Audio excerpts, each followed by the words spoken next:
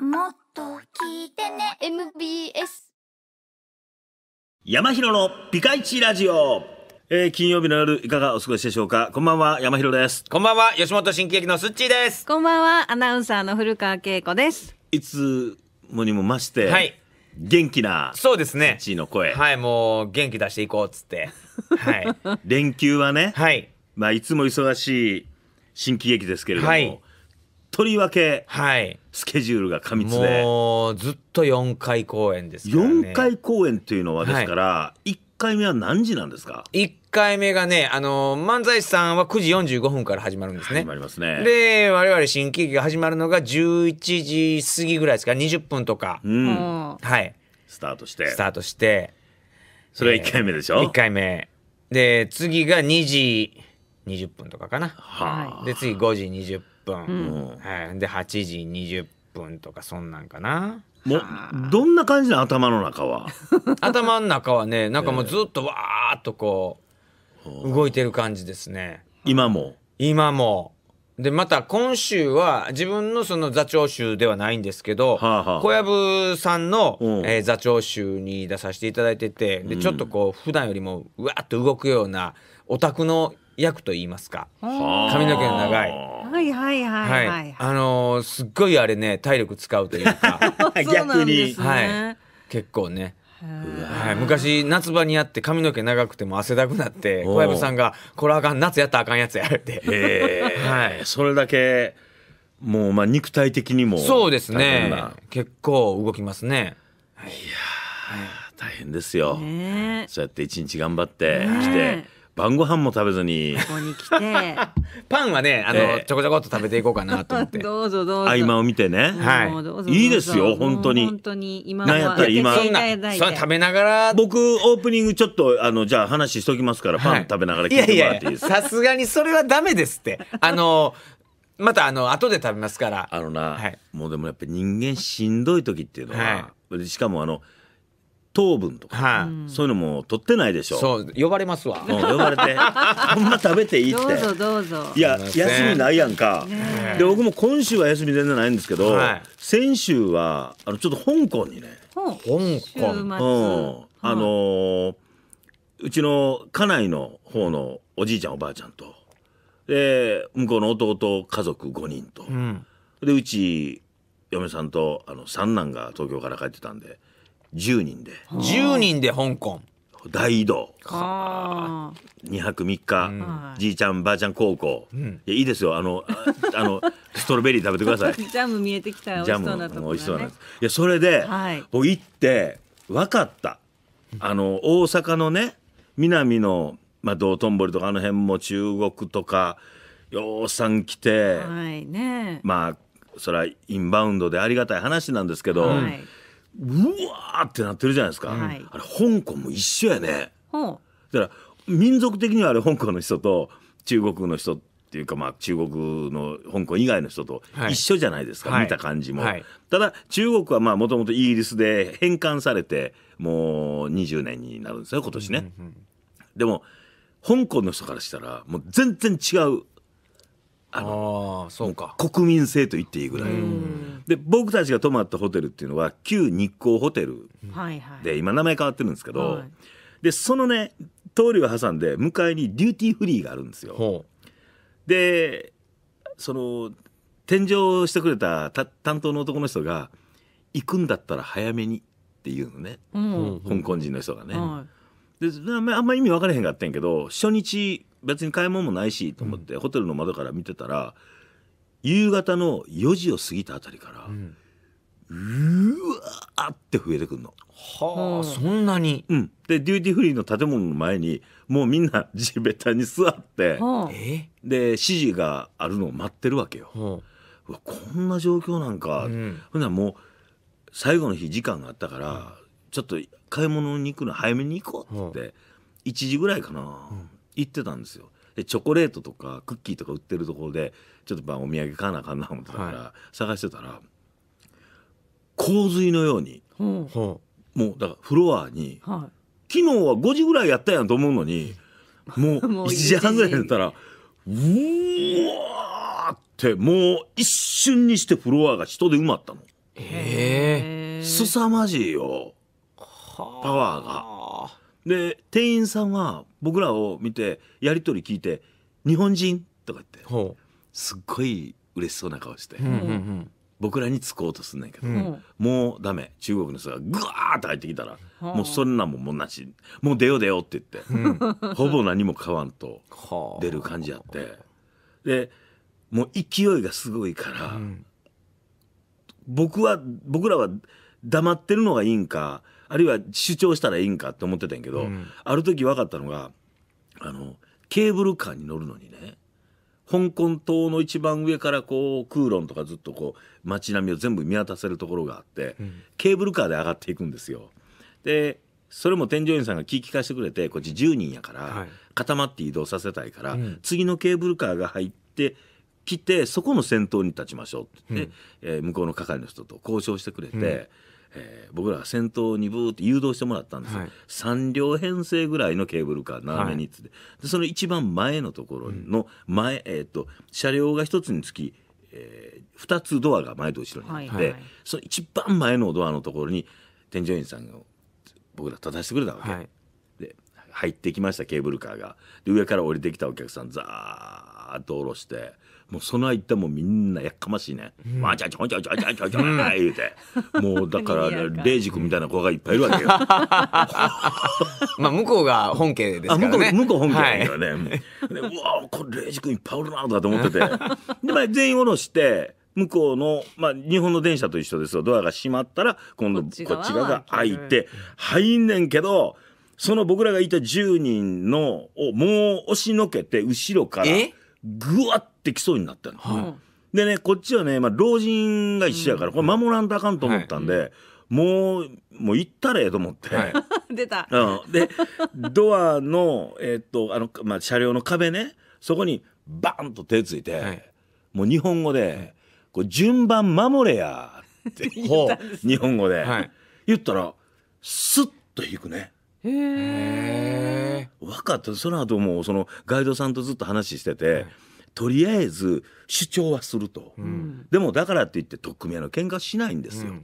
とりあえず言う。え。うん。でどっちも言う、ん。で言ってそこでもう終わってどっちかの主張が通ったらもうその後は何もない、ほまあ、あんまりしつこいのはあかんけどね、うんそそれで一回試しにやったらスッと引く。へえ。それはちょっとね行って試してみてくださいいやよっぽどいかつかったんちゃいますの？その山広さんの言い方が。いやいや僕もだってはい言うても、まあ言うたら義理のお父さんとかお母さんいるじゃないですか、はい。だからまあ根は柄悪いけど ちょっとは上品にするじゃないですかはあだから非常に紳士的にでも強めにうん。ドンと順番を守れよ。っていう感じでは言ったらシュッとサングラスかけたちょっといかつい兄ちゃんやったけど。あ。あそうなんですか？そんな人でも？うん。もう。ああかんわ。あかんって。もうこれは無理はあかんねんなって無理やってみようかなってやれるもんなら入ったろうかなぐらいいでけるかなぐらいで来てるんでか。来るんですよ。で常にそんな感じ。あああもうなんかええ勉強になったなと思ってね。ましたけど。まあす香港ですごい街やね。もうお金が全てみたいな感じ、うん。え。そうなんですか。うん、お金持ってる人は、うん。パラダイスみたいなあの土地ですね、そのケーブルカーで上がった土地から、はい。あの山の上からもうちょっと小高い上の方にちょっと昔の城のようなこう門構えので塀がずーっとあって。で火を焚いてるの、うん。こうなんかこう台の上に薪みたいなの置いて、はあ。その火をバーッと1メートル1メートル50センチぐらいの火をい10個ぐらい並べてるのかな、もう見た感じ本当にちょっとした城のような、うんああそこにレストランかなんかあってバーベキューかなんかやるんですかねって、うん。それぐらいの広い感じだったから、いやいやあれは個人の家ですって。へえ家家。で。香港の成功者たちの、うん。まあ別荘が至る所にそこにはあってでももう下一番下に降りたらもう本当に路地入ったらもうまだやっぱごちゃごちゃしてるところもあるんやけど、うん。金持ちはもうすごいの。海外の金持ちってちょっと桁違いますよ桁ね。違います、ね。うん、だから日本とかに来てはる人ってまあまあ裕福じゃないですか。そうそうそでもパッと見普通に見えるじゃないうですか。そうやなちょっとその高級なホテルとかで仕事することあって、うんパッとそういうとこでいてはる外国の人ら見たら、うん。おちょ本物やなっていう。そう。いるねんそうギラギラとギラギラ。と。う。もうすごいですよね。すごいです。ね。で不動産もあの山本さんお金があったら本当に買いですよと。ほう。絶対に下がらない。へえで買ってみんな貸してるって。そうで月何月まあ何十万とか100万単位であの家賃が入ってくるから、ん。そして10年後に売ろうと思っても、えーいいあの価格が落ちてるってことはないですよ。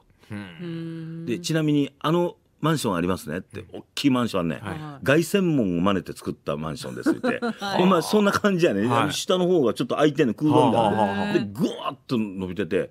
でも僕らはそのタワーから見てたから、はい。タワーの方がもちろん上で,、はい。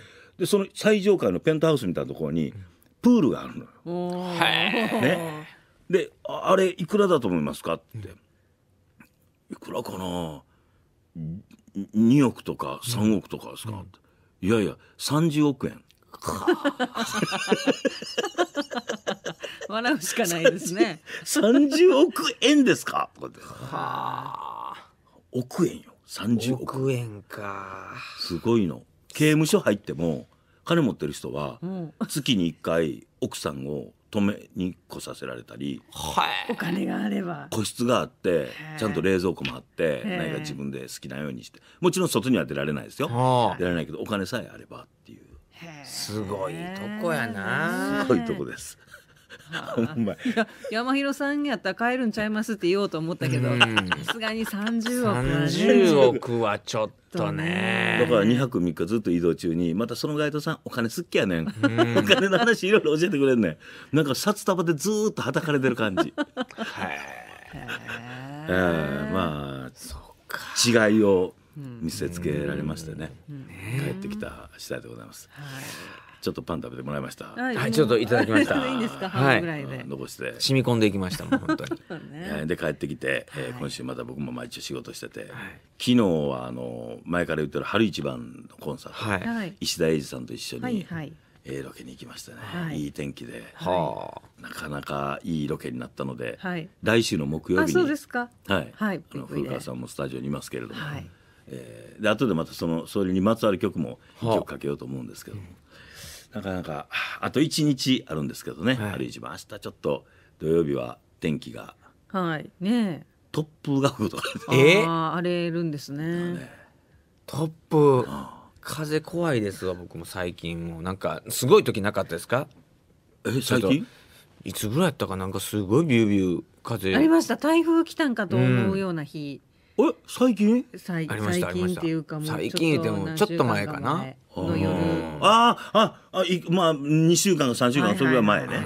はいはいはい。や雨も怖いですけど、うん。昔ってそんな竜巻が起こるっていうのが現実になかったからうん。か知らないですけどやっぱり風ビュービュー言い出した時にあれ？これもしかしたら竜巻とか来るんちゃうの？ってちょっとテレビつけてみたりとか、はいはいはいはい。うん、いやちょっと実怖がってます。際に被害起きてるもんね、うん。あんなん昔あった？いやー、まあなかったでしょ。なかったです、うん、ここが竜巻の通った後ですとかって言って、はいはいはいその部分だけがこうやられてたりするもんね、怖ってもうなかなか寝れないです。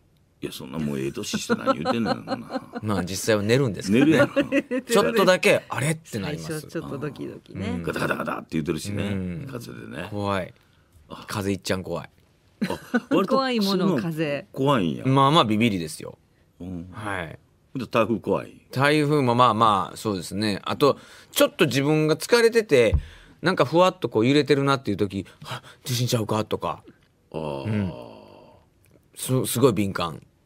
あ、あそうなんや、はい。今何したらいいんや何したらいいんやって思うんですけど何にもできてへん。もうちゃんとなそれやったらそれ用のこう緊急の時の袋にいるもんを入れて、リュックにね。リュックとか置いてる、いやーあの大阪の部屋に置いてないです。それは置いとかなあかんね。置いとかんとダメですよね。うん。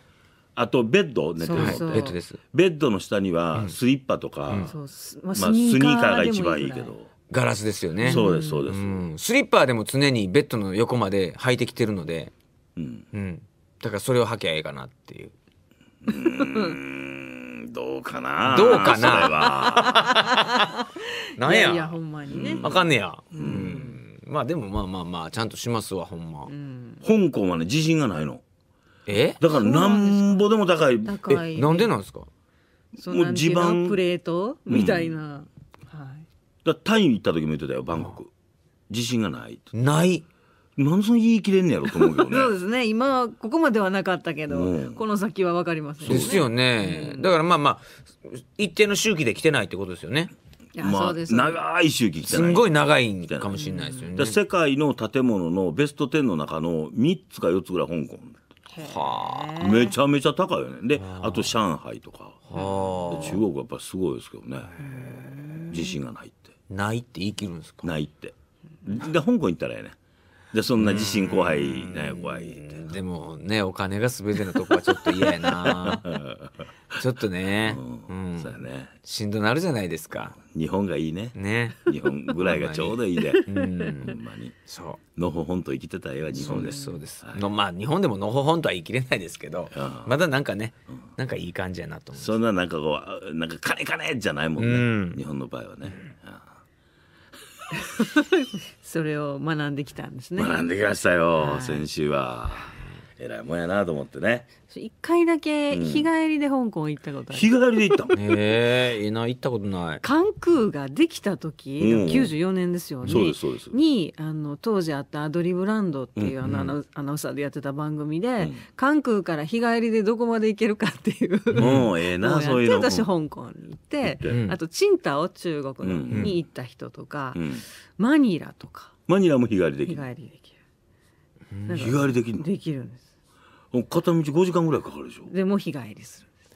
私なんかまだと滞在長かった方です香港で。で遠い人はマニラなんかは ほんまだ電してチンタをもう行った飛行機にそのまま乗って帰ってくるような感じでしたけどね。なんでそんなことしたえそんな時代だったんですよ。香港。一瞬行ったかもしれん。い出た日帰り。えやあのマカオに行ったね。行く途中に。はい。なんかロケで僕だけちょっと遅れていくので、ん。なんかそこ一人で行ってください言われてドキドキしたの覚えてます。一人怖いですあの。船乗った船に乗るんえそうですけど。香港とマカオ船です。よだからそうだから一瞬一瞬だけいました。香港に降りて、マカで、オ行った。はい、船乗ってマカオに行ってみたいな、へえ。で夜やしあんま何も見えてなかった。はい。香港なのかな？ぐらいの まあじ実感としてはないぐらいの通過点、通過点でしたけどね。最近はでも海外のロケ減ったね。減りましたね。昔はありましたよね。あったで確かに。うん。ほんま弱ったのにね。今の若い、まあ、アナウンサーもそうやしタレントさんとかってあんまりないんちゃう？そうでしょうね。そんな、うん、あまり行ってんの見ないですよね。うん、それこそさっきの日帰りのどこまで行けるかやないけど、はいバカバカしいことを そうそうそう。だよやりまねしたやりました。あれどこや？カナダのホワイトホースっていう町に行ってマイナス30度ですよ、はい。でオーロラを見ようって、そこでオーロラ見てそこのあの湖の上でボンさんが塀を越えたゲームね。わざわざカナダまで行って。うん。凍ってるとこで。で僕がだからボンさんが塀を越えたって言って振り返る役、うん。でその僕に近づいてきて、ん。えー動きを止めてでやるねんけど陣内君とか、ん。海谷さんとかは渡嘉敷さんとかはい。たわ、あと久本智子さんとか。でボンさんが塀を越えたって振り返ったら止まられへんでシュー。それをやりたかった。いいですねなんか。そんなアホなことを、ね、そんなアホなことを海外でね。わざわざ行って、そんなことしかせえへんのかと、ウィスラーのあのスキー場、もう世界でも有数の雪質のええところでは何やったか言ったらあの災害救助犬犬たちにお手伝いいただいて「ここ掘れワンワンゲーム」いやもう日本でできるやんっていうね、うん、でもわざわざ行くという。行って行ってやってましたね。またそんなんできたらいいのに。そんなんもうそんな時代は来ませんかね。あもうでも飛全然あかんて行機代とかは安くなってますからね。あそうやん。格安とかで。行こうや、ねうん、日帰り。日帰りはしんどいですよね、で。うん、なんかそういう。企画で。そうバカバカしいことをやりたいですわざわざ、ね。あのね社交クラブをなんか外国でやるみたいな。はいはいはそやな、うん。い どっかのラウンジみたいなところでね。ね。ほらもう海外なんかすっごい話あるんちゃう。ねねもすごいでしょうね。う金に明かして。それこそね。うわなんかちょっと企画書書こそう。うそうですね。夢は広がりますね。夢広げつつ、はい。現実のはい。いろんなコーナー。あ今日はスペシャルですよね。そうなんでございます。はい。まあ連休今日真ん中なんですかね。5連休の人は今日が真ん中だったのかな、そうですね。いかがお過ごしでしょうか、うん。怒りの投稿街中モンスターハンターでは皆さんが街中で目撃した腹立たしいモンスターの報告をお待ちしております、香港行ったらいっぱいあるよ。モンスターだらけだらけでしょうね、そしてそう山本社交クラブ。今日は子どもの日スペシャルでございます。ドロッとしたメッセージご紹介した方にはおかしいんちゃうん？え？子供の日スペシャルでドロッとした 大人の、はい、子供には聞かせられないような、はい、ドロッとした。ただ子供の日っていうタイトルだけでね。今日が子供の日やなっていうだけでね。えー山広さんの直筆応援メッセージ入りクオカード。そして MBS ラジオ FM906 だけが聞けるピカイチラジオオリジナルデザインのバッジラジオに加えて今日はうん現金5000円もプね。レゼントいたしますのでどんなドロッとしたメッセージが来ているのでしょうか。はい。もちろん送られると困るという方には辞退希望と書いていただければ何もしませんのでご安心ください。でも5000円は欲しいところやな、お金だけはくださいでも構いませんのでうん。メッセージをお送りください。さらに最後はピカイチ価値観調査これどやねん。皆さんがこれどやねんと思うことをお寄せください。私たち3人はどう思うかお答えいたしますメッセージをご紹介した方には何でもチラチラ映せる大人の黒い手鏡をプレゼントしています。メッセージの宛先はメールの方は山アットマーク mbs1179.com yama アットマーク mbs1179.com ファックスは大阪066809の9090大阪066809の9090です。番組の公式ツイッター、アットマーク山1179、そして公式フェイスブックも見てみてください。皆さんのメッセージお待ちしております。怒りの投稿街中モンスターハンターモンスターペアレントにモンスターペイシェントさらにはモンスターおばちゃんまで現代の世の中には様々なモンスターが出没していますそこで皆さんが街中で目撃した腹立たしい行動をとるモンスターたちを報告していただきますまずは、アインさんが見つけたモンスターです。はいそれは会社の総務の女性、かっこ45歳独身、かっこです。うん忘年会などで余っていたビールを冷蔵庫の中に置いておいて、気づいたらその子が全て持って帰ってしまっています。部署分の人数分本数があったとしても全て閉めています。この間ひどかったのは上司がお土産にもらったからと渡したものをずっと冷蔵庫の中に1ヶ月ぐらい置きっぱなしにして配らずに自分で持って帰ってしまっていました。会社のものは私のものという感覚で意地汚すぎて一緒に入社した私としてはその子の本性が見えてきてちょっと距離を置きたくなります。それはなんかもうあれかな？間違いないんかな？あ そうですね。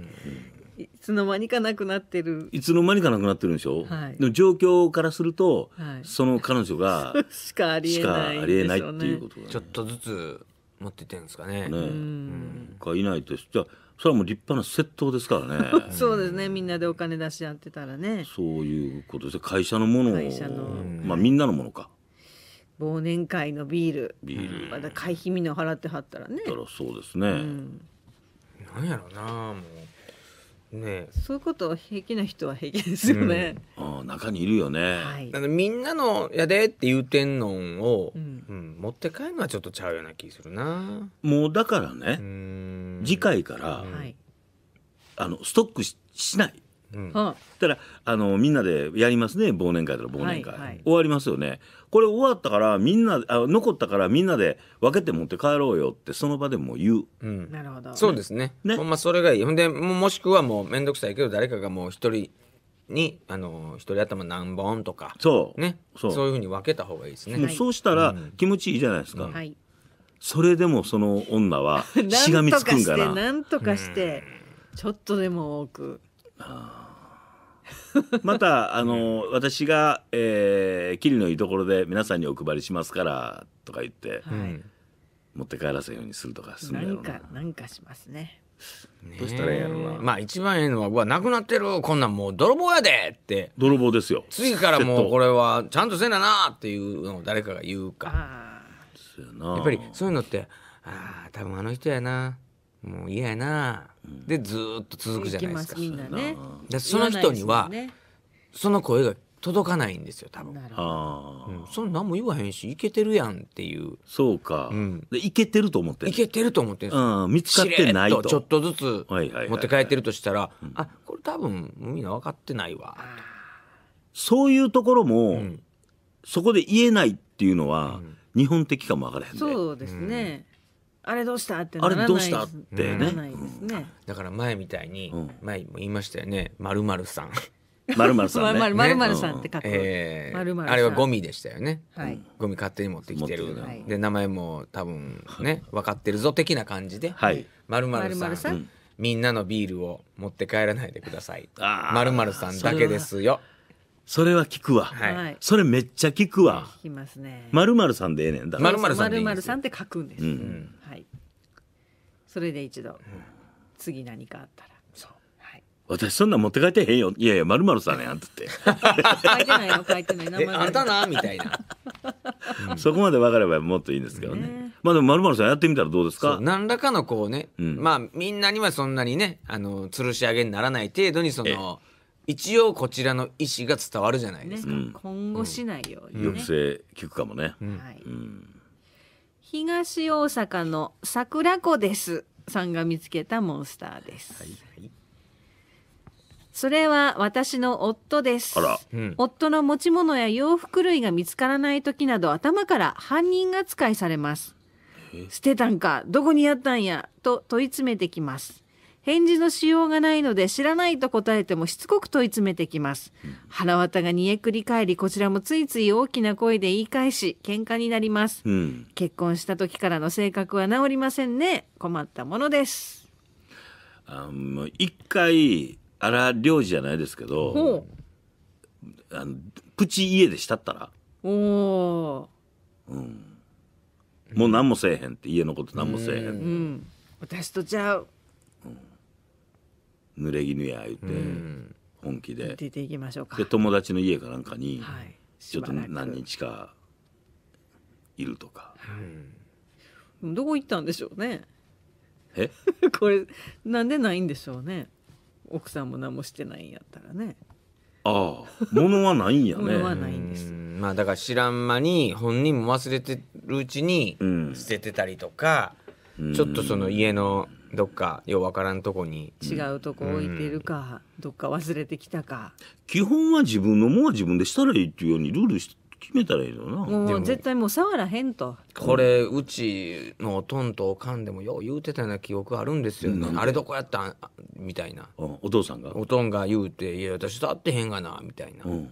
うん、だから結構これどこの家でもありあそうんですよ。のかな、いやでもそうですね。触らんかったら最初から触らんかったらほんまに触ってないって言えますからね。そうでしょう、うん。もうそういうルールにしてしまえばいい、そううはい。その選択してうん。しまうのは自分でしまうと。私はもう触りませんよ、まあそれでいいんですね。そんなに疑うんやったらもう触りませんと。うん。その代わりあなた、はい。あの洗濯物自分でで決めたところに入れて、うんやりなさいよと。そうそう。あーもっと揉めんのかな。そういうこと言うてんちゃうねんってなりそうですけどね。いやそれはね、えっとそのルールを作るためにプチ家でするんですよ。おーまずは。まずは。まずは。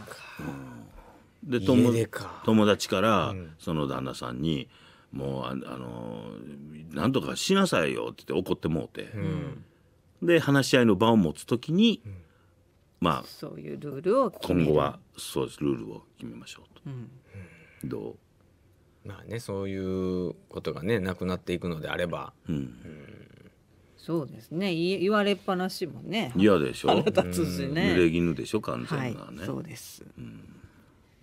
そうどこにどこにあるんでしょうね。ねどこ行ったんでしょうね。例えば何って？何がないって服とか。服がない持ち物持ち物？持ち物ないなんか酔っ払ってどっか落としてきたりなくしてきたりしでしてょうんじゃないですそんなんかね。うん。また昨日携帯電話車タクシーの中に忘れてえー？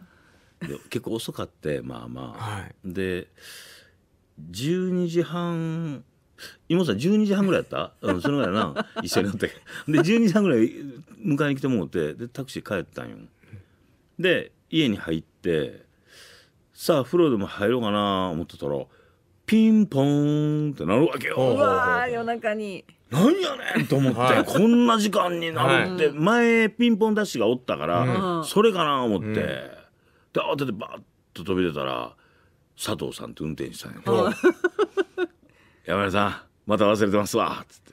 あら。はでちょっと戻もう大阪に戻るのに、うん。コンビニたまたま寄ったらしい、はいはいはい。であで見つけて、うん。うんで念のために僕の携帯に電話したらそこで鳴ってるから、うん。あ山広さんのやなって分かって「うん。もうすいません」いや良かったですね。最近多いんですよ酔っ払って、前は MBS の警備の人に届けてもらって。ほう。それどこにあったんですかね？タクシーの中。あそれもタクシー。えっと僕それは自分で気がついたんですよ。携帯ないって家帰ってから、うわ今の車ちゃうか？それたまたま大西さんでも佐藤さんでもなく、知らん運転手さんやってやばいと思って、はで自分家の電話から自分の携帯に何回かしたら取ってくださって、はいはい。で「あのすいません。あのえあ山広さんでしょ?」とかって言われて全然会話なかったんやけど「はい。あそうなんです」って言ってえ「どうしたらいいですか?」って「あの申し訳ないんですけど大阪に戻られるんでしたら梅田やったら毎日放送の警備さんに預けてもらえますか?」って。でそのまま預けてくれてて。へで次の日に受け取ったんですけどちょっでもとねやっぱ携帯とかたまにほらそのスマホとかでも、ん。そのケース何ですかっていうぐらい派手なんとか 形もすごいのとか、うんでまあまあ僕もそうですけど、まあガラケーでも色変わった色ですねっていう、うん。あのあるじゃないですか、うん。でもあれ大事やなって思いますよね、特にタクシーの足元落ちたら、その足元のフロアマットって大概黒いじゃないですか、せやね。黒っぽいのって分からへんから。がここに。僕もこれやねんこの黒。あー一番目立たへん。真っ暗やろ。特に夜ほんでしかもちょっと酔ってたりしてボーっとしてたら分からないでしょ、分かんないですよだからやっぱ派手なやつってパッと分かるじゃないですか、それやな。で運転手さんも後ろパッと確認するけど、うん。運転手さんがってもうね常に完璧に見れるわけじゃないから、そうやね。ほんで、一応みんな確認してはるもんね、うん。それでもこの黒やったら分からへんわ。ちょっと分かりにくいですね。ケースが悪いんや、俺が悪いんじゃなくって。で赤とか。赤やな、うん。赤や。赤の頃あってん。赤の頃って忘れへんかったもん、でしょ、ううん。んなるでちょほどっと派手な方がいいんちゃいます？キラキラにねあれなんかなんかの景品でもらったやつやね。もあかんわやっぱああいうのは。うあそうですか。今新喜劇のねやつ出てますんで、ぜひご購入ください。ちょっと待って。えねキャラクター付き？はいめっちゃあのー派手なんじゃん、あの表がスチコのリアルな顔。裏が吉田裕君のリアルな顔とか。ああいいですね。あとはもう川端座長のカーっていう顔のアップ。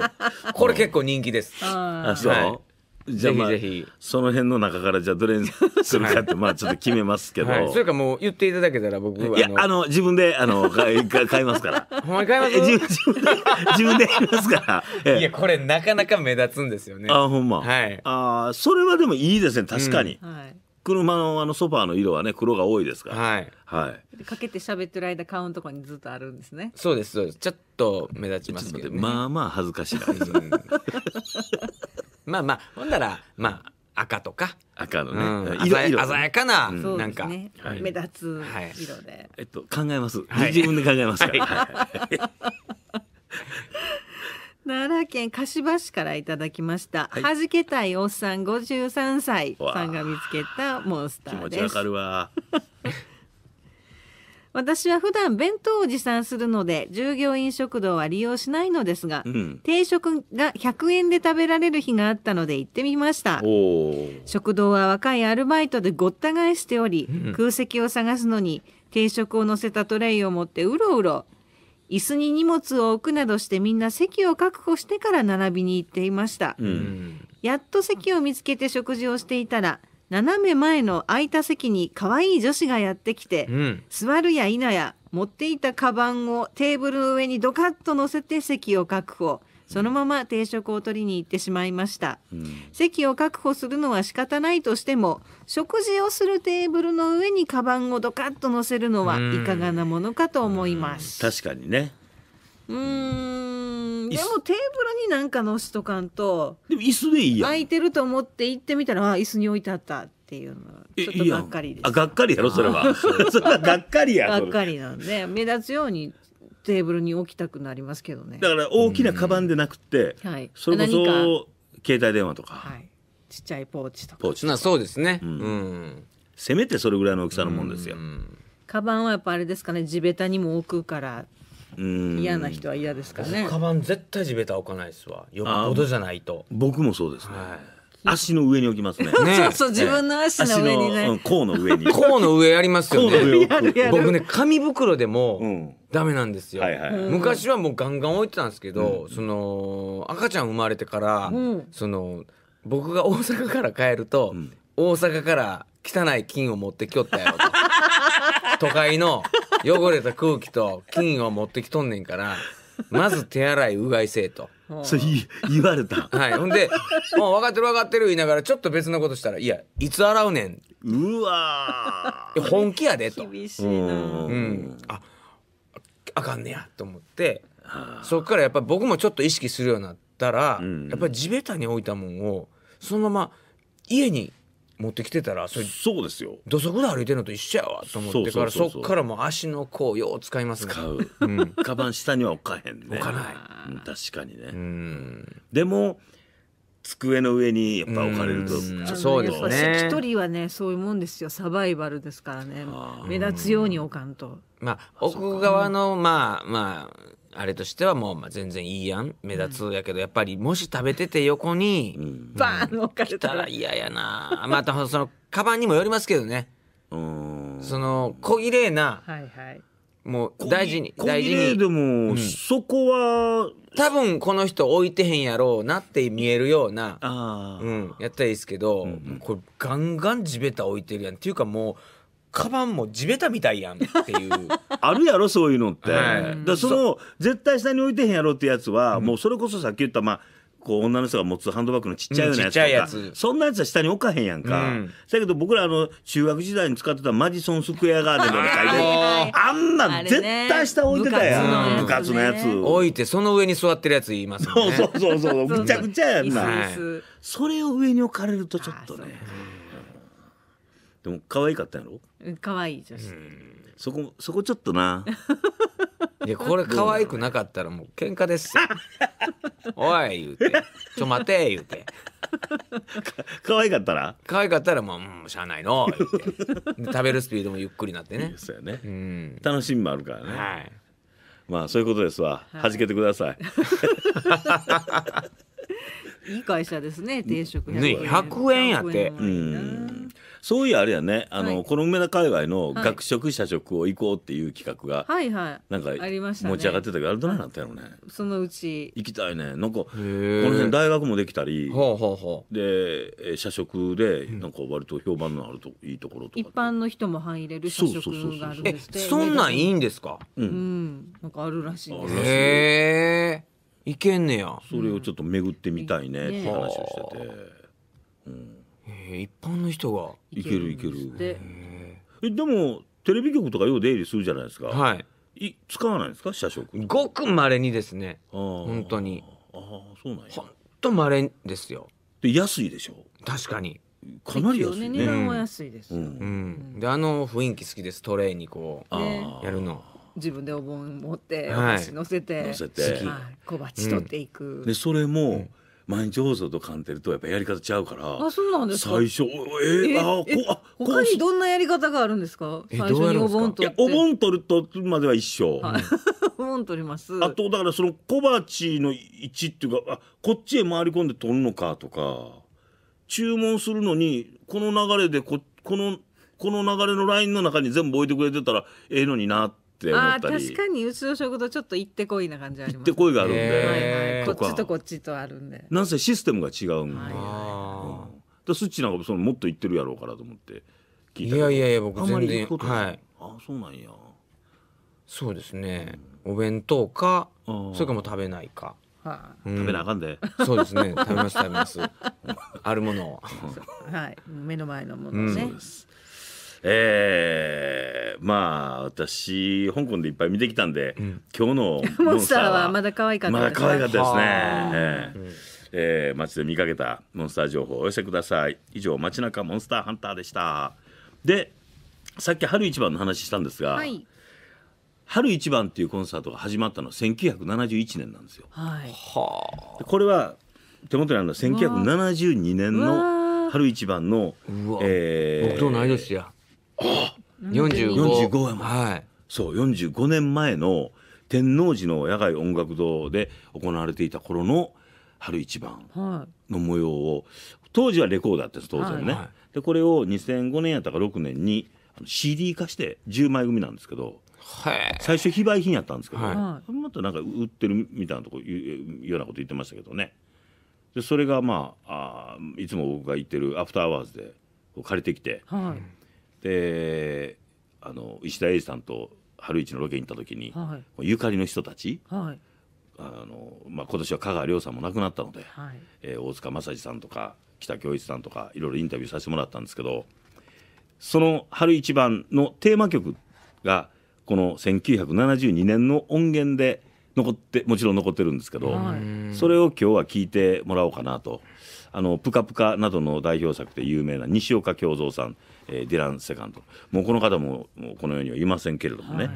えー45年前の歌声、で、えー初日のトップバッターで西岡京三さんがこの「春一番」を歌うんですけど、はい。えー一番注目して僕が聞いてしまったのは、感想の間に、えー今60代後半の福岡風太さん、えーというその舞台監督がまだ声若いですわ、えー感想1番と2番の感想の間に、えーこの春一番のコンサートの注意事項とかはいうのを別にこんな時に喋らんでええのかとほものすごく几帳面な福岡風太さんのその若かりし頃の、えー肉声なども入っておりますのでへ多分まあこの毎年春一を聞きに服部に今行ってる人たちは、はい。これ聞いたらうわーって言うかもしれないですね、えーその当時の音源がありましたので聞いていただきましょう。春一番西岡京三山本社交クラブ。スペシャルでございます、はい。子供の日スペシャルでございます、子供の日。はい、子供の日にどんなのが来たのでしょうか。まずは、ベルの青いクマさん、女性ですね。からいただきました。ダメなのは分かっているんですけど、うん。どうしたらいいでしょうか。え私は今27歳独身です。小学校の時に男の子に混じって野球をしていました。ーうんその野球チームは小学校合併チームです。うんうん周りはみんな男の子。私は女の子一人でした。うんうんそのせいもあってみんな私を男の子扱いでした。その頃は何とも思っていませんでした。が、私の一つ上の男の子 S 君だけは私のことを女の子扱いしてくれました。うんその S 君のことが好きでした。でも S 君は別の小学校。思いを伝える間もなく卒業してしまいました。そしてあれから15年経った年末、その野球チームの同窓会が行われることになり、私も参加しました。当時好きだった S 君も来ていました。うん S 君は結婚して子供も2人いました。残念な気持ちを抱えつつ、もう兄のように思うことにしました。うん。ですが、S 君が翌日に遊ぼうと言ってきました。あら。うん。奥さんは実家に帰っているとのことでした、うん。私は素直に嬉しく何の気持ちもなく OK し翌日映画を見に行きました、うん。夕食を食べている最中小学校の時の話になり私が好きだったんだよと言うとなんと S 君も好きだったと言ってくれました。あら。私は嬉しいような悲しいような気持ちになりました、もっと早く気持ちを伝えておけばとか。うん。でも好きでいてくれたことに心から嬉しかったんです、うん。しかし相手は妻子持ち。複雑な気持ちで帰りの車に乗り家に送ってもらう途中で S 君はいきなり私の手を握ってきたのです。すごく驚きました同時に恥ずかしい気持ちが溢れてどうすればいいかわからなくなりました。嫌な気持ちにはならなかったですがとても複雑な心境でした、うん。そして私の家に着く寸前 S 君は私にキスをしたのです。お 私はもうどうしていいかわからなかったです、明日も会えると聞かれました私はわからないと答えてその日は別れました S 君との一日が忘れられず眠れませんでした、次の日私は一日中彼に会おうかどうしようか考えて結局夜少し会うことにしました、S 君は結婚しているのでどこに行くこともなく真っ暗な駐車場に車を止めて話をしていました、ん。そこで体の関係を持ってしまいました。彼はずるいです都合のいい男でいいからこれからも会おうというのです。うん。え？私は以前好きだった男の子。それはもう会うだけでも嬉しいし幸せなんです。S 君は家庭もあり幸せな生活を築いているのに私は新しい恋になかなか踏み出せず今もこの関係は続いています。わ S 君は絶対に離婚しないし頻繁に会えるわ。けでもないのにとっても苦しいです、きっぱり別れて新しい恋を探した方がいいのでしょうか？どうしたら忘れられますか？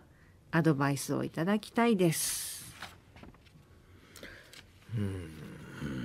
続いてんねや。続いてるんですね。これはその気持ちの方が大きいんですかね？その S 君を好きだっていうのがそうさせてんのかちょっとそのそっちの関係が良くて言っとんのか。いや気持ちちゃう。気持ちか。やっぱり初恋いうかまあそれに近い人でおーなんてやろう。まさかの両思いやったっていうことで一気に気持ち的には盛り上がって、で嫌われたくないとか終わらせたくないっていうかいう気持ちがずるずるいってるん違う？ね。えまあ思い出の部分は美しいですけどん。現実は全然美しくないですからね。これ思い出もこのままずっと続くと、はい。その思い出もせっかくのね。そう、ん。なんかこう色あせてしまうような気がするよな、まあ関係は持ってしまったけど、今やったらなんかそのままスパッとやめれるんちゃうの？だって都合のいい男でいいからってさ。そう最初から言ってますからね。そやけどさそのはい。S 君悪いけどさその都合のええ女やん。うん。こんなんそんなよ言うってよっぽどこんなもん上手じゃないと言うたらダメですよ。よっぽど。よっぽどそのね上手な。上手って何上手って何ですか？あのいわゆるテテクニカルそう的なこと。そうそうテクニカル的なことがあって、もうん、でまあこれ言うんやったらまだ、まあまあまあまあ。それは上手かもしれんや。ん。それはいいけどやな。あだから最初聞いたの？そうです。だからなるほど。なんでそんなにって。で結構さそのなんでしょうね。すごくいい思い出やったのに、ん。いざ同窓会でん。会って、その後、遊ぼう言うて、明日も会えるとか、うん、手ギュッとしてキスしてきてとかまあまあちょっと雑いというかね、バタバタっとこう結果出そうと。ほんで結局それも駐車場でしょ？そうですよ。そこですよ。駐車場ってね、うん。じゃあもうだからもうそれだけやんっていうのがものすごい出過ぎてもうてるというかいやそういう人も結構多いですけどまだもうちょっとだけなんかねはい。嘘でもそうそちょっとどっかね。ええとこ行くとうか、大事にしてほしい感じがしますよね、そうやね、うん。これもうちょっと女性のこうなんかこうねプライドを傷つけないように、やっぱ思うよね、うん。だからやっぱりね都合のええ女扱いしてるなってうん。聞いてて最初思ったんですよね。雑いわ、だからまあその文面だけなんで、断定はできへんけど、今知ったそあのここに情報書かれた情報だけで、だったら、はい。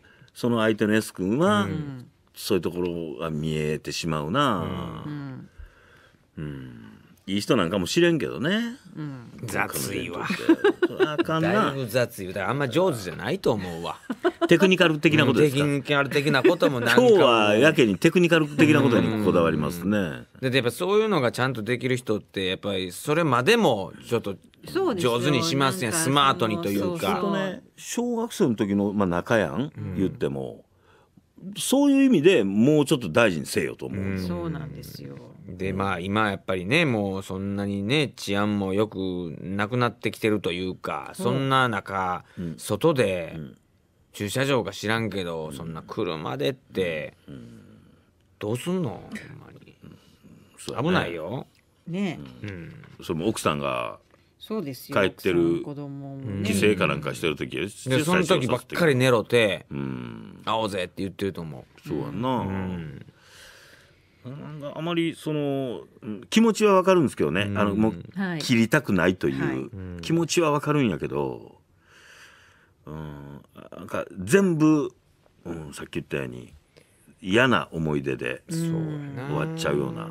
だからもうそのもうこっちもずるくもうそれはそれであのそうそう。気持ちをガンと切り替えて、ん。新しい恋をもう探す、でも何やったらその新しい恋も同時進行、でもほんまに都合のええ男って思ったるかですね、それでもやっぱりこう気持ちが入ってて無理なんやったらもうそれは一旦言わんと、うん。まあ、それにそれをすると、やっぱ最後ドロドロしちゃうでしょう、最近し初めて知り合った人同士やったら、まあそんなんもありかもしれへんねんけどむ昔のあれがあるじゃないですか、小学校の時のね、ねやめた方がええんちゃう？やめた方がいいと思うあ雑のは。大切にしてもらってる感じがあんまり感じられない。ね。ねえ、ねうん。車って、そこに引っかかっていうます。ん、私多分まあまあの頻度で車やと思いますよ。うん。そこケチってるし。うん荒いし。ね。まあ27歳独身なんでまだ、はい、そうです。だからまた29ぐらいになったらあって思いますから。うんそうでしょう。この方が、うん。青いくまちゃんがね。ね。で何やってんねやろ私っていう日が近々来ると思います。うん。近々来ますか？近々来ます。来ます。近々来ます。まあもうちょっと来てますからね。ねえ。はい。まあなので、我々の意見は一致して、うんはい。やめた方がうん。せいいと、せっかくのね小学校の時のいい思い出がね。いい思い出がね、ん。これ以上やっぱりずるずるいっちゃうと、うん。よくなくなくなっちゃうんで、うん。はい。はい、です。えー、5,000円で美味しいもんでも そうですね。食べパッそうやわほんま美味しいもん。ね一人で。食一人で食べて。一人ですよ、うん。一人です。一緒に使ったらもっ一緒にたいない。一緒に使ったらあかんのそんなあかんぞ、ね。絶対あかん、うん、雑い。ね、雑いな。続いても女性です。匿名特住所さんです。はい以前交際していた彼と結婚を考えていたのですが、ほふと彼の携帯の写真を見てしまいました。彼が女装した写真が何枚もありました。うなんか久々やなこういうパターン、彼を尾行したところ、うん。怪しいお店に入っていき、しばらくすると髪が長い女装した彼が出てきました。うん。私は男らしい彼が好きだったので受け入れることができず、うん。彼に本当の理由を言わずにお別れしました。その後私は病気になり入院手術をして恋愛どころではありませんでした。でも再発もなくやっと完治してありがたいことに友人が40代の私に何人か男性を紹介してくれるのですが、また癖ですね。癖のある人だったらと考えるとなかなか一歩が踏み出せません。あせっかく助けていただいた命なのにもったいないなと頭では分かっているのですが気持ちがついていきません。うん。こんな私にアドバイスをいただけたらと思いメールしました。うん。うん。なるほど。はい。前回もねはい前の彼氏のトラウマがはい。ずっとこう、えーなんていうの次にふ踏み出せないっていう女性いたじゃないですか、はいはい。うん。DV でしたかね。DV があったんやと思いますね。ね。うん。いやこれかなり特殊な。特殊ですよね。はい。女装は特殊ですね、はい。うん。うん。まあまあないんじゃないですか 今後。どうですかね。あのそうです。だからまた女装かっていうことはまずないと思いますまあでもその ここまでまあ振り切ってるというか、やっぱり分かりやすいじゃないですか、うん。え女の人の格好をしてるうん。っていうのでやっぱどうしても拒否反応はうん。あると思うんですけど多かれ少なかれ何らかの癖はありますよ男性は。ああつまりその その女装がうんぬんじゃなくってね、うん。だけじゃなくて。みんな言わんだけで。はいはいはいはい、うん、でもちろんそのパートナーには見せへんだけで、うん。男同士で喋ったら実は俺こんなん好きやねん、うん。でもなかなかなっていう言えないよねっていうのは、みんな持ってますから。それはねでもね、ん。女の人もそうですよ。そうそうそうそう。結局みんな持ってるじゃないですか、全くもう本当のなんかノーマルっていうか、であんまいないんじゃないですか？そうだもう逆にスードンみたいな男と付き合うても、なんやねんこれって。スードン味せえへんぞと。何も入ってへん何も入ってへんぞ。スードンは物足りんぞ。うん。スードンは。まあ一番味がわかるけどね、うん。スードンだがからその癖にねそのすごくあの恐れるがあまり、うんなんかノーマルがいいと思ってらっしゃいますけど、なんかしらやっぱ癖ないと、えー、そうですか、ん。私何にもないと自分で思ってますけど。なんかありますって、えー絶対あるって。例えば何ですか、例えば何ですかってそんなの分からへんけどやまあ、フェね、チみたいなことですか？まあフェチもそう足がです。足がすごい好きとうかいう、ん。うん、前やったやんそのなんか何ですか？匂いが好き匂いとか。匂い。匂匂い。フェチもそうやしね。はまあいろいろですよね。だからまだまだ分かってへんだけでちょっとガッとされんのがいいとかうん。そあの ガガッと？うん、それこそもうカーテンふわー開けられてそう外の世界を見せられながらとか。ああのね女の人はそうやと思うね。あのなんか自分の中で気づいてないだけで、そうそうそうそう。ん。それは男にもあんねんで、で、ね。特にやっぱりこういうお仕事されてるのでやっぱり きちっとしとかなってい。う自分がいるじゃないですか、はい。だからもう全く真逆にもうむちゃくちゃな自分もいるんですよ。はあはあはあほんまに。いっぺんすっぱだかでニュース読んだれみたいなこと 思ったことないですか？それなあんたな変なビデオ見すぎや。いやだから普段あの場はきちっとしないといけないというやっぱり自分のね、ん。プロ根性もうプロ意識こう気持ちでしょ？こうじゃないとダメだっていう自分ともう真逆にもう全てをもう壊したいと、うん、えそれは上半身も脱ぐの？全部ですよ。それあなたが昔見たビデオは、上半身はちゃんとした格好やねんけど、机の下はすっぽんぽんやったっていうやつ、そんなんもあります。そんなんもあんねや。あります。いろいろありますそんけどなんもあるし。まあいろいろですけだからど私は普通だって思ってる人の方が、もしかしたらまだ蓋開けてないだけでものすごいこいやそうなんですよ。だから危なものっていうのはみんなあるんですよ、う、はい、それは濃いか薄いかだけなんですよ。ちょっとたまたまこういい人に当たっちゃったね。の人はめっちゃ濃いんですよこの女装する男の人っていうのはね、でまあでももっと広い視野で見たら、ええ。まだまだ薄いと思いますよ。あそれに別に女装することは悪いことではないんだから、そうそうそうそうですね、この方に向けてた顔は全然普通普通でしょ？ですからね。ただまあ携帯にその写真残さんでもええのになとは思うけど、はい。あと SM クラブに行きたい人とかね。あー。よくあの会社の社長さんとか、えーなんかそれなりに地位の高い人が結構行ったりとか。そんな人が首輪つけられて、ん。散歩させられるみたいなね、うん。はあ。うん。とかね。はい。とか。やっぱりだから普段こうちゃんとしとかなって会社を任されてみんな敬語でわーってなってる人がもうどこぞのね若い女に、ねん。頭カーン踏まれて、でヒーヒーって喜んでるっていう、そう考えたら僕らみたいに見てみもう明けっぴろげやから、全然そのそういう意味でのそストレスたまらへんから。だ僕も結構言う方なんですね、いろいろと。だから言うてるから全部抜けてもうてるから隠さない、隠すとまたそれがもう発酵していくというか、ふつふつふつふつうんふつ。ふついやもうもうほんまおっしゃる通りですよ、ん。隠さないのは一番いいことですから。そう、でも結局わーって言うてる人って世間から見たらいやらしいなとかアホとちゃうかあんなことばっかり言うてって思われがちですけど、めちゃめちゃ普通、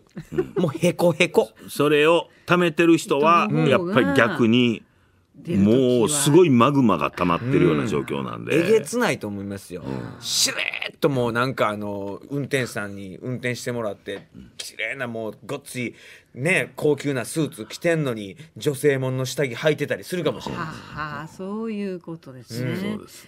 じゃあ特命特重訴訟さんには何て言ってあげます、えですからだから別えっとにビクビク怖がる必要は、ないんですないんです。みんななんかそうそう。みんなあります、ううん。んでまあその言うてももうこれを経験しましたからね。経験したし、そこまでのことはもうそんなにない、これだって害はないのよ、まあまあまあ、でもショックはショックやったショックはショックかもしれんけどショックはショックやったんでしょうけど、うん、だからまあこれ以上まあないと思うんで,、でねまあまあそこから一周二周しはったんで、うん。ちょっと楽しみましょうかいや絶対そうやと思いますそよう、うん。こういうことがあうん。ることをうん、楽しむ、そこまで思い詰めなくていいですよ、はい。うん、自然に紹介そうそうそう。されたらはい。普通に会いに行く、行って、うん。でまず自分もそういうの言っちゃうとかね。私結構こういうとこあるでとか。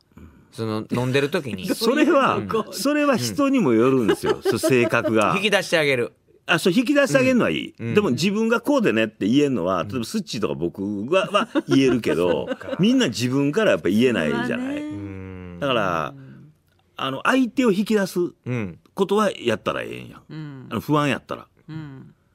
ね。だから私は何も驚きませんよ。実はね前の彼氏がこうこうこうでそっちの方がええやめっちゃショックやったけど、うん。ようよう考えたらまあそれぐらいうん。今やったら別に分かれへんかったやろうねとか。だからなんかあ肝ったら玉の太さをねそうそう言うてな言うて、うん。かす言うてし言うてなって。ふかすし。超えるやつ来たらどうしよう。それ大きく上回ってくるやつ。そうそう。でえーって驚いたら「いや言うてない言うたやん」まあまあそんな怖がる必要ないですって。そうそうそうそう本当に、はい。うんそれほんまにね悪いやつやったらあれですけど、うん。でそれはすごくよくわかると思うんですよ、うん。悪いやつって、うん。1回2回デートしてたらそれ出てくるんで、うん。もうそんなやつはもう最初から次からもう会えへんかったり、うん。はい。えだ大丈夫です。癖はみんなあります。あるある。息ね、全然。なるほど。大丈夫。今いろんなことが頭をぐるんぐるんするな。ほん本当大丈夫や思いますよ、ね。はい。うん大丈夫です。大丈夫です、た楽しんでください、はい。もう一ついきますか。これ結構長いですよ、おでは神戸市の小春日和さんです、女性ですね。大学4回の一人娘がおります、はい。去年2月彼と別れて心機一転ジムに行き出し、うん。そこでトレーナーをしていた40歳独身の方とお付き合いをすることになりました、うん。娘さんがね、うん。入会した時の担当者でその時から彼氏がいるか聞かれたりご飯や遊びに行こうと誘われていたようです、うん。その時点で私はいい年をしてなぜ19歳も離れた娘にと心配でたまらなく、独身か確認だけはしました。うん。きっと同年齢の方と付き合うとなれば女性は結婚を考えるだろうからまだまだ学生が相手なら結婚をせつかれる心配もないと軽く付き合っているのかなと思っていました。うん何よりも40歳でありながらトレーナーを数カ所のジムで掛け持ちをしているフリーターです。うん。うん。ある大会に出場するために会社を休職していると娘から聞きましたが病気でもないし1年以上も休職はできるの？とその話もうさんくさく、うん。口には出さなかったですがあまり賛成ではありませんでした、お金は持っていると言ってみたり SNS でその人のつながりを見ると海外スポーツの勝敗にかけることの投資家とのつながりが多かったりと不安の多い人でした。うん。クリスマスには泊まりたいと言って出かけていきました。うん。ですが就活のセミナー先で倒れた娘のところにすぐ行ってくれたり、あちこち一緒に出かけたり連絡も取り合ってトレーナーの後輩に娘の目指す職種に就いた人がいてその人との席を設けてくれたりと優しさは感じられました、楽しそうに出かける娘を見ていると羨ましいくらいでした。うん。年齢の差は娘がいいなら受け入れようと思いました、うん。ただ職だけは先を考えているならきちんと就職してほしい。けど別に将来を約束しているわけでもないので言えませんしその彼との面識も私はありませんでした。うん。会ってみたかったのですが娘曰く親に会うなんてそれ相応の覚悟がないとできないしまだそんな感じじゃないからと言われました。うん。だんだん私が娘を通して疑似恋愛をしているような気分になってきました、それが3月までは出かけたり連絡を取り合っていたのにプツリやめてしまったんです。うん。何気なく聞くと就活で忙しいからと娘は歯切れの悪い返事をします、うん。お相手の SNS を見てみると以前の会社と職種は違いますが社員ではなく契約社員として働き始めたみたいです、うん。娘から別れたのかお相手からなのかは分かりません。娘も話題にしないので聞くこともできません、娘から辞めたのなら就活で30社の説明会に行き40代の男性の社会的な立場働き盛りの人々を見ると好きなことをするためとはいえフリーターは不安すぎると感じたのか。お相手からだったらやっぱり娘のわがままだったのかなとかあれこれ考えます。うん。もし振られていたのならそんな娘を育ててきた私は自分を否定されたような気分になり落ち込んでいます私はプライドが高いからこんな気持ちになるんでしょうか。普通に生活している娘を尻目になぜか私が悲しいんです。社会に出たらまた新しい出会いもあるでしょうし、実家を出ることになるためもう細かいことまで目につかなくなり私にはその方がいいかなと考えたりしています、娘の恋愛に入り込みすぎる過干渉な私にご意見をお願いします。うん、まあ正直言って入りすぎてるなって思いますね。はうん。それはやっぱりし自分の娘をまず信用してあげることはやっぱ親として大事だと思うしね。い、はい、まあどんな理由があったか知らんけど、自分でちゃんと娘さんもねしはったわけでしょ。何か考えはったんですよね。でそれがもし振られたんやとしても、なんかプライドがどうのこうのって言ってるけど、それはあんまり良くないですよそんな考え方っていうのはね。はうん。それこそ2人の間のことだから、で相手はその何そのしっかりした仕事をまだしてなかった。定職についてないということですね。ででしょ、うん。でその一点でやっぱそういうふうに決めつけるのもよくね。今はいろんな働き方があって、そういう大会に出るためには、うん。うん、あのとりあえずどっかに所属してたらできにくいっていう部分もあるでしょうし、ただまあ金持ってるどうのこうのっていうのはちょっとうさんくさいなとは思うけどね。ね。ただでもなんかその付き合ってる間のそのいろんなね、うん。あの娘さんのなりたい仕事の人とのこん。うんの場を設けたりとか、うん。ね倒れた時にすぐとか。しいのは優しかったみたいいやなかなかそれできないですよ。すそこまでちゃんとって、うん。まあ本当もうあのあの4回生でしょ、はい。うん、もう成人してるそうですよね。一般の女性ですから、はい。だからほんま信用してあげてください。なんかね、あ顔にあざ作ってきたとか。そうそうそう。もうそういうのは乗り込んでいかなあかんおの金をちょっと貸してくれって言われてんねんとか、う。んほんまにもう2段階ぐらい上の「お」っていうのがあったら、ん。まあ入っていってもいいと思うけど。けね、ほんまよくわかります。子離れをせんといかんのですよね、うん。気持ちはわかるんですよ。わかります。心配な気持親としては。ちはねうん。わかるけど。ちょっとちょっと引いてあげて、うん。そんな別にやけどではないと思います。大丈夫です。いい経験をされたと思いいい経験です。ええ、古川さんが言ってるので間違いはない 間違いない。と思います。ね。はい。はい。いやなるほど。ーええまあお嬢さ新たなんパターンでご、ね。親御さんからのご相談でございました、はい。お嬢さんと二人でご飯行ってください。そうですね。なんで五千円もうたか内緒にして。内緒にして。はい。美以上山本社交クラブでした。ピカイチ価値観調査これどやねん。よいしょ。ー早速参りましょう、い。吹田市のピーナッツバターさんのどやねんです、はい。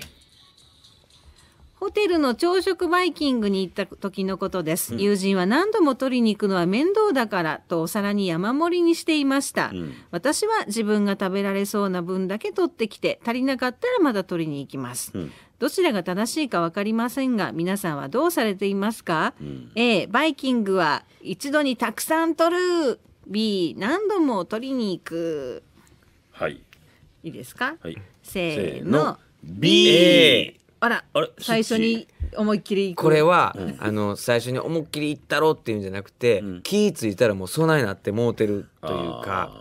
取ってるうちに。はい。そうやね。もうサラダだけでもちょっと楽しいじゃないですか、はいはいはい。いっぱいあるからね。ね。僕もめっちゃヤングコーン取るんですよ。わかる。ヤングコーンってそんなに普段食べれない。まあね。だからもうヤングコーンバーやってる。ほんならあこのこっちもやな入れるな、えーこれもいるな。うん。ほんであこれ美味しそうやな。あウインナーあるやんか。とかいろいろやってるうちに。えヤングコーン何本入れんの？まあ8本ぐらいですね。それは多いって。一人で食べんのやろ？一人で食べます。多いヤングコーンは2本まで。まずね1いや回目は。ヤングコーン2本までって書いてたら僕もそうしますけど。書かへんけど。だから バイキング〇〇さんはヤングコーン2本までまるさんちゃうってだからバイキング全体を一回歩くんやって。そうそう一周してからちょっと落ち着いて考える。それでこれとこれそうでそうあれああっちこっちやなって。あー僕それ無理やわ。バイキング歴浅いね。浅い。そうですね。もっといろいろ食べてみてちょうだい。ちょっとずつちょっとずつ。ヤングコーン8 8本本いきますね。また来来週。週 どうぞ。違うチーズなんていうチーズやったかな。何？あのプロセスチーズじゃなくて。違いますあのこう四角いやつ。チーズ違います違いますあのあのねイタリア料理モッツァレラチーズ。それそれそれそれ。あの白い。あ白い白い甘い味なやつそう。あれキュッキュッキュッキュ言うじゃないですか。あちょちょっとキュってなあれ好きでう。んあれも入れたら思ってパッと見たらこのでっかいやつさあ切るんかと思ってたらこんなぐらいの丸っこいのがいっぱい入っててああそんなやつあるね。それ見つけてそれバーって入れてあ今僕サラダの話してますってことはやな。皿の上にその今言ったモッツァレラチーズとはいあとヤングコーンがヤングコーン10本10本やで10本10本10本や。もうもうそれだけで色合い悪いよねそうですね。白と黄薄黄色ですもんね。薄黄色やから。いや結果、うん。サウザンの鮮やかな色でチャラなるんですよ、まあそうかしらんけどもままあ同じ系統のね。それでホワイトアスパラやろ。ホワイトアスパラ。ホホワワイトアスパラうまいわ。ホワイトアスパラ好きやけど、考えてみホワイトアスパラとヤングコーンと、えーモッツァレラチーズで、ほぼ色ないで、白っぽいやつ、いやもうそんなんやってたらもうもうシェフに絶対どない散らされるんでそんな盛り方してたらえでもそれは僕があのバイキング行ってうバイキンる方ですよね。グはねそれはね周りの人は何も言えないですよね、言えないけど。自由です。でも、ヤングコーンを8本は多いって。いやでもねバイキングにしかないんですよ。でしょ？わかるでしょ？ヤングコーンって。今も3回ぐらいしか食べたサラダバーとかしかないんですヤンよグコーンあんま好きちゃうもんヤングコーンめっちゃうまいわ。美味しいわ。俺俺はうまない。ほんまに。うまいっていうか食べようと思わへんなのコーン系を、いや美味しい美味しいけど、全体のこう値段で考えるともったいない。安いやん。もっと高い肉とかいかんいやほんでな、まあ、肉も一周回んねん。ほんでえっとあ今日カレーもあんねやとかカレーあるな。それからちょっとこうお椀に入ったうどん系のもの麺系がある,、うんあるある。あるじゃあこっちがの分量はこのぐらいにしておいてとかって、計算立つじゃないですか。それを最初サラダバーに行って「ヤングコーンやんけ!」って言って8本入れるともうもうまたヤングコーンになる。うるさいわ。ー うるさいわ。ーもう。すぎりすぎりできるからバイキングやねんけどね。あの皿見たらそれぞれ性格分かります出るとよね思います、うんね。めっちゃ出ると思う。だからあのレタスなんかでも、ふわっと置かんとあかんねや。えあの皿がありますよね、ははい。そのレタスを普通にベターっと置いてたら、もうセンスない。まあまあ盛り方としてそうです、はねコールガロニっていうのはこうふわっと置く。そこにきゅうりとかを立てる、でポテトサラダをよ右横に置く、でトマトってこうバランスがあんねんな。なんやったらレタスの向こうにサニーレタスを先置いた方がええわ。その上にレタス。足引っ掛けたなるわ。わーさー言うて。あ 言うてレタス頭にパーン乗っててほしいわ。もう帰ろうや遅い えーお疲れ様でございました。お疲れ様でした